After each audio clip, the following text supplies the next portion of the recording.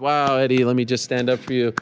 I mean, as punctual as ever, Eddie. Well, Thank you. I mean, really. but and we're sticking to four o'clock. Are we really doing this? Should I bring Fred out here? But the problem is, like, Yes? you you What's the demand so much time because I've noticed lately you've changed. I've changed. Yeah.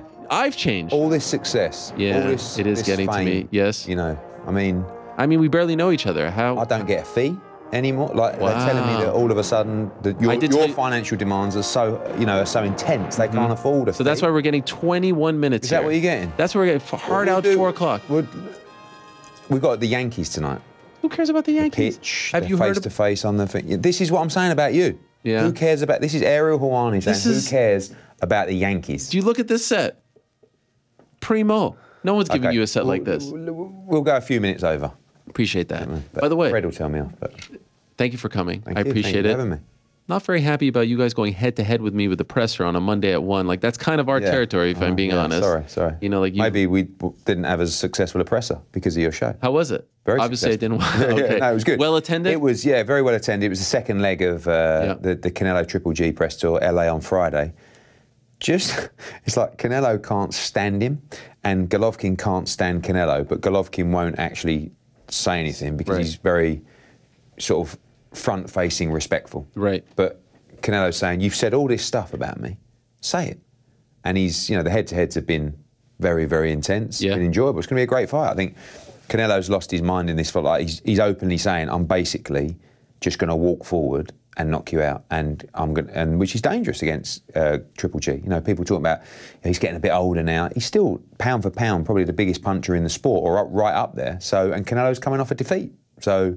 Mentally, where is where's he at? Uh, Golovkin looks great, great. Moving up to 168, which I think will suit him. He's been 160 for like 13 years, so I think uh, it's gonna be. I think it'd be the best of the three fights so far. So I was curious to see which direction you would go in after the Bivol Hmm. fight. You could obviously try to do the rematch, or you could go in this direction. You ultimately went in this direction, which I think was the right call for whatever Hmm. it's worth. Did you consider? Did you guys consider? Did he consider running that one back? Yeah, we'd, we'd already signed for the Triple G fight, and the aim was actually to announce the fight in the ring, which obviously backfired considerably. Mm. Right. Yes. Um, you had like a promo and everything. Yeah, ready? yeah. Oh God. Everything. I mean, but that's quite common. Yeah, yeah. Like people don't realise that, but it's actually quite common. Um, and I played golf with Canelo the next day, and he said, The next day. "Yeah, the next day, Wow. crazy. Like he mentally, this guy is on another level, but really upset. And playing golf while upset is never a good mix, but somehow he managed to do that. And he wanted the Bivol rematch, like every fighter does. You know, it's the first thing in the mind. But obviously, we had this agreement with Triple G, and this is the only chance to make this fight. The only chance. And Why? Because just time wise, like we've waited a couple of years now. Golovkin's just unified in Japan. Like, if we leave it till next May, this was the time to strike. We had the agreement, and he wants to fight Triple G. He wants to beat him, and then he wants to rematch Bivol in, mm. in May, which is like, we keep talking about the resume of Canelo Alvarez. Like, it is incredible. And he genuinely, like, he had to almost handicap himself to lose by moving to 75, you know, against Dmitry Bivol. So this fight's interesting, particularly coming off the loss, because his back is against the wall. Might be really bad news for Gennady Golovkin, or might be good news for Gennady Golovkin. But you know, Canelo is uh, he's pretty open in his assessment of this fight, which is I want to retire him, and, and I will only be happy by destroying him. So, which is a nice edge. I've not seen him like this before, to be honest with you. Even when he fought Billy Joe, Billy Joe was poking him and prodding him, but he was quite calm. He wasn't really rising to the bait. Here he's, he's pretty vicious. We had Oscar De La Hoya on a couple of weeks ago. Sorry he said that. it was a massive mistake to book this fight. That you don't understand. The Bivol fight. Yeah. Yeah. I mean, the thing is, promoters want to make easy fights for their clients because they want to milk as much money as possible. I am a promoter and I do see the science in that. I'm also a fan. Like I also want to sit there. If I'm investing in a fight, and sometimes there's quite a lot of financial risk in a fight, I really don't want to pay big money to see a mismatch. right. I don't want to sit there and watch a mismatch. Sometimes it happens, and there's nothing that we can do about that. Not every fight is a fight of the year contender. But why do you want to criticise a guy? I mean, he's, he's, of course, out of sort of you know jealousy and the fact they fell out, and there's a lot of that. But Right. why do you want to criticise a guy for trying to be great? Shouldn't we? Like you're basically saying you shouldn't have taken that fight because it was too difficult.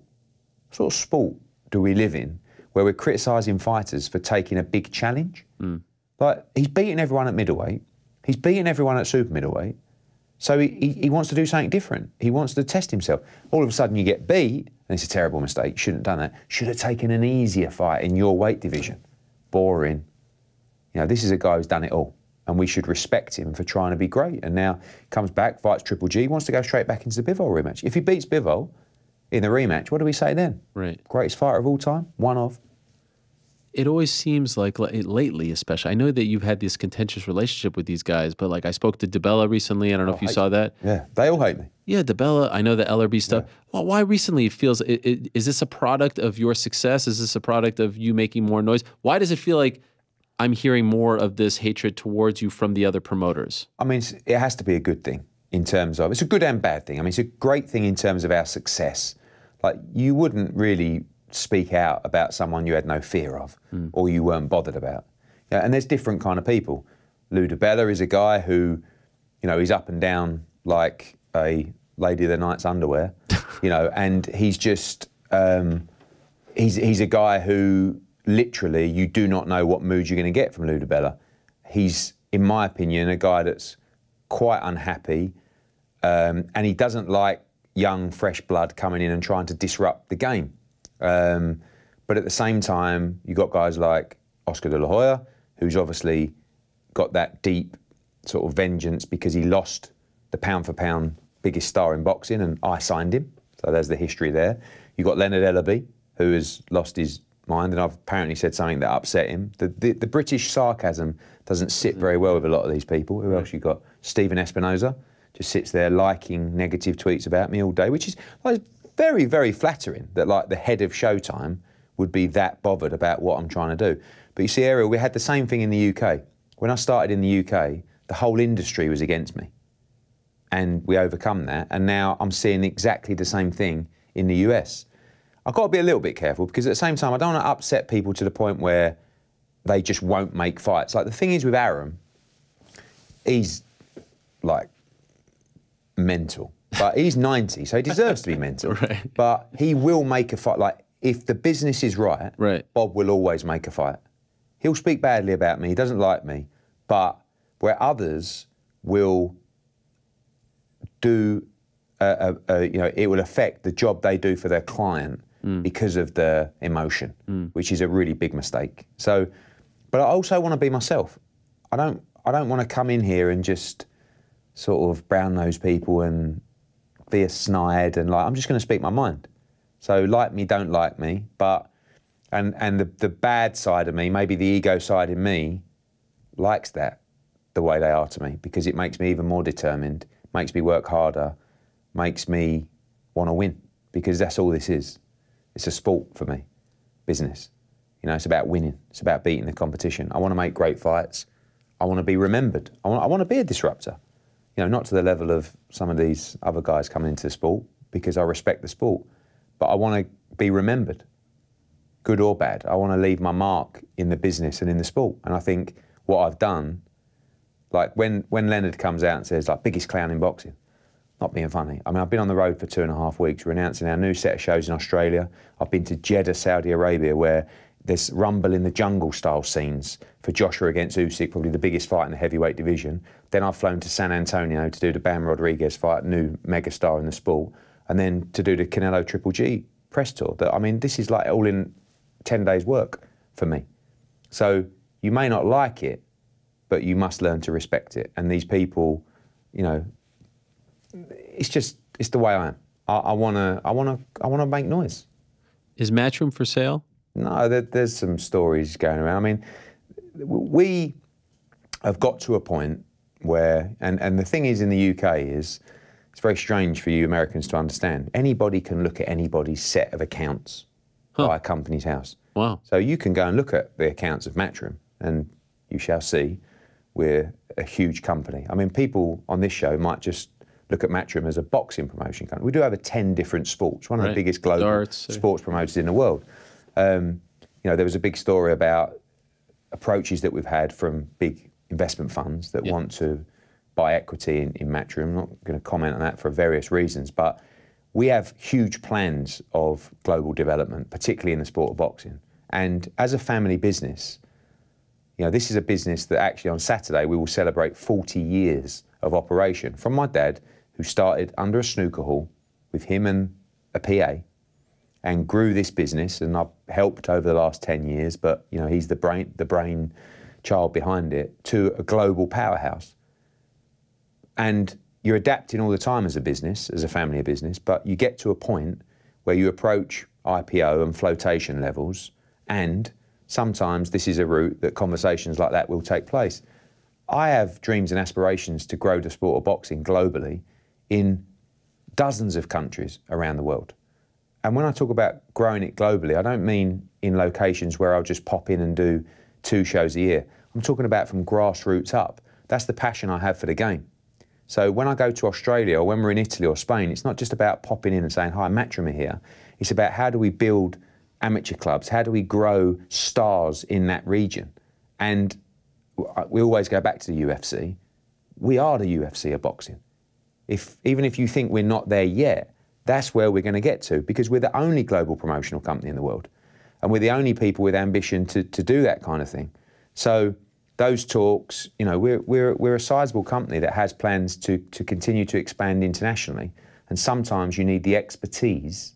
It's not really about the money, we have money, but the expertise to grow that business to the IPO and to speed it up internationally at the pace that we'd like to go. Why isn't Taylor fighting Serrano next? Because Amanda Serrano didn't want the fight. What does that she, mean? She, there was no amount of money as we were told, that would get her in that fight this time around. Particularly, probably, because the fight was slated for, and what we'd like to do was in Dublin. Um, we went to Nakisa, uh, Nakisa, Nakisa, yep. and said, we want to do the rematch. No, we're not really interested. She's going to have another fight on Jake's card. I said, well, it's a lot of money in the rematch. Look, even if you offered, I think they gave us a number which was well over or more than double the first fight, we still wouldn't take it. And we were like, so that's why. Disappointing, but she's, you know, I, I think they probably feel that if they lost again, it may be career in the balance, whereas they can go out, have a fight on the Jake Paul card, and maybe look at the rematch next year. Um, disappointing because you were there. I mean, it was just epic, wasn't Yeah. it? So we'd love to do it again, and if it's not in Ireland, maybe we do it back at the Garden. So uh, obviously, I asked around. I mean, this is such a big fight. We were all there. It was a huge, huge deal. What I was told was she was offered the same amount for the rematch. Not true. uh, she was offered, I believe that might have been the first offer. Then we started talking about, look, what's the number? And they, they came back and said, if you offered X, which was, I think, double or very close to double, we still wouldn't be interested. was Dublin the issue? Like if we'd be back in New yeah, York? Possibly. We never discussed doing it back in New York. Why not? Because we had an opportunity to do something in the sport that, which we already did, but this is on levels 80,000 people Right. at Croke Park for a female fight. I mean, and by the way, Katie Taylor won the fight. And, you know, so it's like, do you, if you believe you can win, you'd want to do the rematch. But I understand as well, she may have felt that it would have been a tougher task in Dublin. Probably true. So I don't, you know, this isn't a call out to Amanda Serrano saying, can't believe you didn't take the fight, you're running from Katie Taylor. As a team, they just decided it wasn't the best move for her career. And, and maybe they're right. I was also told they take the same money at 126. Is that even a possibility? No, Katie Taylor's never boxed lower than 131 or 2. She, and she's she could never make 126 pounds. It's ridiculous. I mean, you know, Amanda Serrano is happy to fight. She's fought as high as 140. Uh, Katie Taylor is a small lightweight, but isn't going to make 130. So when she boxed at 140 for the world title, Katie Taylor, I think she weighed 138 or 39 and came in the ring at 140. So she doesn't uh, hydrate to, to big levels. I think on the on the day they would have been about the same weight in the ring, but you know, that's her weight class, and um, I think we'll see the rematch one day because you get to a point where you know they'll do the fight on the Jake Paul card, and then it'll be like, I just can't earn like. 30% of what I can earn against Katie Taylor. So let's just do the rematch and hopefully we can get there. Is it true that there are talks to do Katie Taylor versus Cris Cyborg? No, no no deep negotiations on that. I mean, look, there's two fights that I find really interesting. One is Holly Holm, and one is Cris Cyborg. Know, Holly Holm is a, a very good boxer. Cyborg can also box, has great power, doesn't quite have the boxing resume of Holly Holm, but they're big crossover fights. And I think Holly Holm has a fight left with the UFC, I believe, which would mm-hmm. make that difficult to do. Cyborg, I think, has a Bellator agreement but doesn't cross over into boxing. But just really some friendly chats. Like she was at the show at Madison Square Garden, no real negotiations, but definitely a fight that I would be interested in for a number of different reasons. Something different and fun. Like you, you get to Katie Taylor's stage in her career and you start looking at other fights and it's it's like what can you do now kind of thing. So is it a Holly Holm in Vegas or a cyborg, you know, in Vegas or something in Dublin? Holly in Dublin would be gigantic. Yeah, huge, you know. So Hey, ring your friend Dana and say, let's do, do, a co-pro. It's What's stopping fight. it from happening? No, You're there all the time. You're at the Apex. You're, I believe they've got a fight uh, planned for, for Holly Holm, but maybe one we reach out to Dana on. But Have you talked to her team? Holly? Yeah. No, not really. No I- I believe some, maybe some of Katie Taylor's team might have had a friendly chat, like management team, but um, and, and limited stuff with with Cyborg. Now we know that the Serrano rematch is off. We'll start planning for Katie's fight, and I think you'll see November, December for her next fight. In in Dublin? I'd like to. You know, she's never boxed there. Even in that, like, I mean, it's cold November, December. Yeah, no, we do it indoors. November, Indoors? December. Yeah, Is there a big enough like venue? Eleven or twelve thousand. Yeah, the three arena or but whatever. The general thought behind the team is that if and when we go to Dublin, we'd like to do Croke Park. Right. And that would be in the summer, but it's not going to manifest for August or September this year. Can you say with confidence her next fight is against either Holly Holm or Cris Cyborg? Not really, No. but I can say there's a possibility. You would like that? I think it's interesting. Yeah. You know, I think she's kind of done everything in boxing, and to bring in that new market to women's boxing. I mean, you're talking about the thing I don't like about the cyborg fight is she's big Yeah. and strong. You talk about Katie making. I don't even know if she, she can't make that. Katie would have to go up. Right. She would have to fight at one, above 140, which she can't really do. So, Right. but Cyborg has a massive problem fighting Taylor because not she doesn't mind, but in terms of the fight itself, you're fighting a pound for pound great. Katie has a problem because of the strength of Cyborg. Right. That's what makes that fight interesting. You'll probably have to see Katie go to 143 or 4, and she can't she can't really do it. And then you're going to see Cyborg rehydrate to 155. She's going to be 20 pounds heavier or close to that on the night. Holly Holm is a much better technical boxer than Cris Cyborg, but I just I just think it's something different, you know. And I think Katie's kind of earned the right to to do. It's not an exhibition. Right. It's not like we're just having a joke fight. These are dangerous females, and it just brings a new fan base to the sport. I'm going to pepper you with some questions here because problem. uh, the Yankees are waiting. By the way, are you throwing out the first pitch I'm not. No, Who Canelo Golovkin are. at the same time? I don't know how it works. I'm just. So doing why do you need head-to-head. to be I'm there? doing a head to head You're doing the head to head? on the pitch. You're doing head to head. I saw you do one with uh, Chisora. It wasn't as good as me, if I'm being honest. Or a pool. Oh, that one. No, no, I'm not doing that. I'm doing an actual face to face. No, but I saw you did Yeah, the head to head. yeah. You know, I got, I got, yeah, but you were playing Ariel there's, Helwani. there's levels to this. Yeah. I can't, you know, I'm a good What, promoter. they couldn't get a presenter to do it. No, they've short noticed. I said I'd jump in, cheap, obviously. Right. Didn't have to pay me. That's true. So that worked out well. yeah. So All right. It, it was. I will say, not bad. You know, there's thanks, like mate. you said, I really, from, honestly, coming from you as a, as a head-to-head expert. pioneer, I appreciate I, that. I really appreciate that. uh, Tank Davis. Any talks? What's going on? Mm. No, They're I sending mean, you letters. What's happening? I got a letter, a legal letter, to say stop talking about Tank Davis and stop. At all? He's he's under contract to us. Even though he said it himself. That's what I said. right. But all I've said in my interviews is if Tank Davis is under contract, obviously we have no interest in speaking to him. If he's not under contract, we have every interest and we'll make him a huge offer. Right. That's it. So, um, Have you talked to him? no, because it's difficult because you you know once you start reaching out to fighters, you're ultimately interfering in a contract. So Right.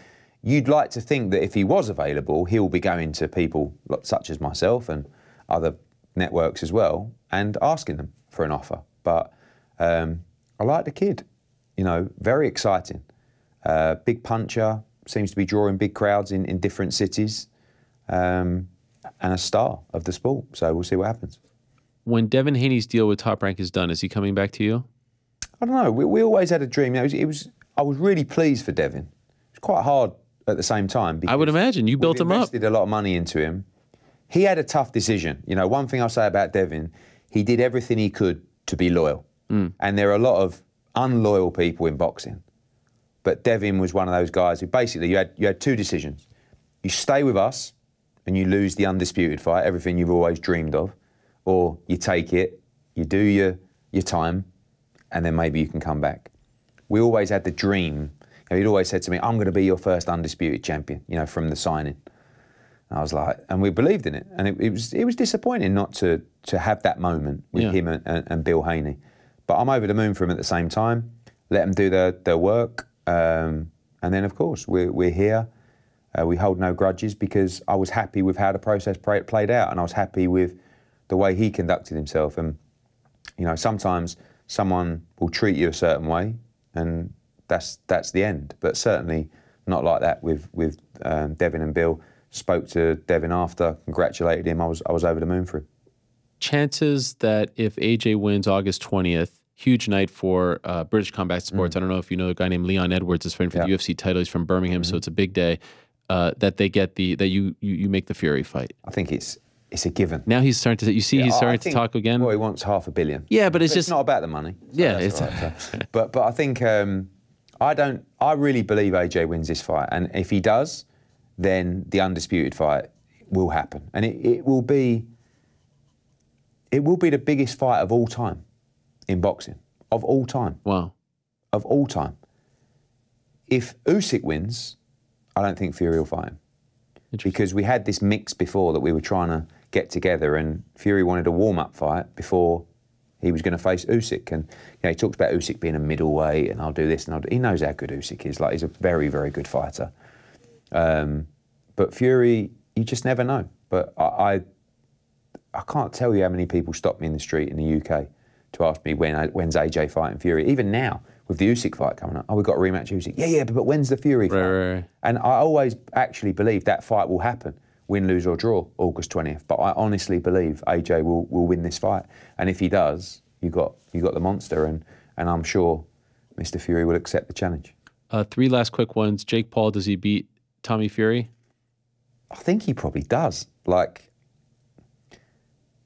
they're they're about the same kind of level. Like, but the problem is with Jake is you listen to him, and you can't help be drawn in by the confidence. So I'm now drawn in by the confidence and putting him as a guy who deserves to be a, a boxer and des, you know, yeah, on paper, Tommy Fury should beat him easy. But then you watch Tommy Fury and you think, well, actually, you're not very good either. so, but what is good about the fight is it's a 50-50 fight. So that's and and Around the same age, around the yeah, same. it doesn't. It doesn't. Sometimes the levels of the guys, of course, you always want the elite guys fighting 50-50 fights, but as long as it's a competitive matchup, doesn't matter. It's okay to watch, and that's a 50-50. Like I don't actually know who's going to win that fight. I mean, if Tommy Fury loses, it is genuinely the most embarrassing thing that could ever happen to him. And, and uh, obviously, you've got Tyson, you've got John Fury, and if Jake loses, his career's over. So therefore, it's quite it's quite exciting. High stakes. Like, yeah. At MSG. Pretty impressive. I don't know how it does. Like, I think it's a lot bigger in the UK than it is here because Tommy Fury was on Love Island, Yeah, like yeah, yeah. Tyson Fury's cousin. It's got, and Jake Paul's a big star in the UK, but I don't think. I mean, you know better than me. I, I'm not sure it's going to knock the socks off pay per view in the US, but and I'm not sure how it does on the gate. But you know, it, I, I I will watch. You'll order the pay per view. I won't. Well, I'll be in the UK. So, Yeah, BT Sport box office. Yeah, a lot cheaper than over here. Shout out to BT. Yeah. My good friends. Um, Cordina Stevenson. Hmm. What a knockout, by the way. Oh, unbelievable. Any chance that happens this year? I mean, he's got a mandatory against Rakhimov. We've got Zelfa Barrett in the UK. We've got all these fights. But, of course, when you win a world title like that, you want to maximise, one, your earnings, and two, your opportunity to do something great. I rate Shakur Stevenson as one of the top pound for pound fighters already. I really rate this kid. I mean, he hasn't got the profile that he deserves, but look at his resume, like who he's fought at such a young age. But if there's one fighter right now after a performance like that that you would give the best chance to to beat Shakur Stevenson, it is Cordina, and mm-hmm. still a, a big underdog in that fight. So, but really, once you win a world title, you want to unify and you want to become undisputed. So there's three champions. That would be a big unification, and Joe wants it. You know, and, and Shakur Stevenson wants it. So, Great. you know, it's a That big knockout fight. was incredible. Unbelievable. Unbelievable knockout. Uh, I'll, okay, I lied. Two more. I know Fred's head is going to explode, but I have to ask: uh, Beterbiev, Bivol. Any chance? I, I- should probably ask this to Frank Smith because I know he's uh, but- he's yeah, Bivol's uh, he's promoter. seen Bivol. The, the problem is sometimes, like, there's a lot of smoke and mirrors in boxing. Right now, Dmitry Bivol does not have a fight scheduled. Okay. There is no excuse why Beterbiev Bivol doesn't happen now. Yes. It's about October, November, wherever. You know, Bob came straight out and said, "Oh, we're not doing it on DAZN." He's trying to take mickey out of the zone. I was like, "We don't have to do it on on the zone. So we can do it on ESPN if you want, but we we don't have a fight scheduled. They've got a mandatory that they've made up against Anthony Yarde, which of course could be delayed, like for an undisputed fight. Right. But I'm not saying Beterbiev doesn't want to fight Bivol, but that fight's there. We've not received any offers for that fight. We'd be willing to entertain and, and talk about that fight. One of the best fights in boxing. Yes. So if better, and the problem is, is that I believe if Canelo beats Triple G, he'll rematch Bivol in May. So really, you're, you're delaying the undisputed fight because if we don't do that fight now, you're not going to be able to do it till the end of next year, which is a shame. Right. Because it's a great fight. So I, I see, you know, if they don't want to make that fight, then really what we should do in that kind of situation is me and Bob go into a room with a couple of envelopes and we do like a private bid on ah, that fight. You know, we, we stream it on, on the MMA Hour. That would be great. Obviously. I was going to say DAZN, but fine. No, Go no, ahead. You, you know, you're, Thank you've you. got the big platform. Yeah, I appreciate that. Thank you. And we just have a bit of fun with it. Yeah. But it's, the problem is now, it's like the first thing he does is get on the front foot and say, "We're not doing it on zone." It's like, all right, Yeah, chill out. calm down. Like, Yeah. what, well, what about your fighter? Like, do you want to be undisputed? And, and why shouldn't we be able to be competitive in that market? And and we might pay your fighter more money than you want to pay him.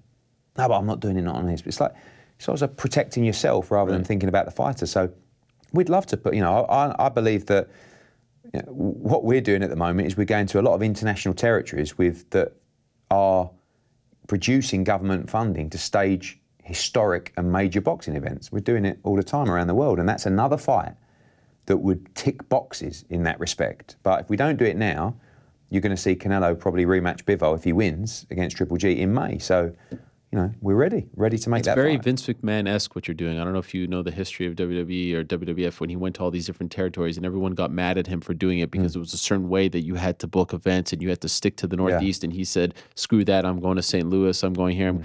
What you're doing is very reminiscent. And everyone was mad at him. He didn't care. He, he he he pretty much bought them all out and then hired them to work for him. I don't know if you'll hire these dudes to work I, for you. I think well, I went to Australia recently, Mm-hmm. and no one likes me being it. Like, and I wouldn't. Like, if I was a, a promoter in Australia, and I came in, or someone like me, and start, you know, but in those territories, it's not a case of just we're controlling things. We can work alongside other promoters. Australia is never going to be our number one territory, but because of the brand that we're building and the credibility that we're building among fight fans, we can go to these international cities with the credibility in place, like the UFC do. And you don't always become talent dependent. Right. You need to build talent in that region. But the great job that the UFC have done is built the profile and the credibility of the business and the loyalty of the customer to be able to go to different territories and say, the UFC are here. You buy a ticket sometimes without knowing who's on the card. Yeah, yeah. And, and of course, you want to build great cards, but that's the credibility now that we're getting globally, particularly through the global platform of the zone. And, and it's just a beginning. Like there's, there's multiple territories to conquer. Vince McMahon style, don't know how I feel about being, you know, but, Well, I mean- but also a promo, promotional legend yeah, yeah. you know, and, and I look at these business businesses, you know, um, Vince McMahon, UFC. We want to sit alongside them, and you know, we run all our production now. A lot of what we do is very similar, Right. and these are very successful businesses that, of course, we we aspire to sit alongside. Last one. If Crawford Spence happens, will you be involved? No, no, great fight. you're out I of I the- Get, I got criticised recently because I said Canelo Triple G is much bigger. Hmm. My argument of bigger is dollars, right? And and Canelo Triple G generates four or five times more than that fight generates. And the reason that fight's not getting made at the moment or hasn't been yet is because the fighter's beliefs of, of the money involved is not the reality of the situation. Now, those guys see AJ, Canelo, Fury making 30, 40, 50 million they want that for that fight. Right. It's not there. It's a massive fight in boxing, one of the best fights in boxing. Walk out on that street now, on Wall Street, and say, Are you interested in Spence Crawford? No one would even know who- what you're talking about. But it's a brilliant fight that we should all push to make. Just as a promoter, I know the numbers, and it it's just someone's going to have to take a massive punt, or you're going to have to get a site fee from from one of these territories right. to deliver the money that those fighters want for what is an extremely risky fight for both. Pleasure as always. Thank you for doing this. You're going to go to Yankee Stadium, by the way, and everyone's going to say, "Why did you cut it short?" This is a way bigger platform than Yankee Stadium. Well, you should you have know. state longer. We had a lot more things to discuss, but I do Got to appreciate. spread the love. Sometimes, you know, little appearances and little teams like the Yankees Yeah. have to play. Fred told me though, you said you're not leaving New York without coming here, and so I appreciate. Always, that. every It time very I'm here, kind. we're in. I think it's four times in you go, 2022, making history. Thank you, sir. Cheers, mate. Good luck to you. Thank you. appreciate it. Safe travels wherever you're off to next.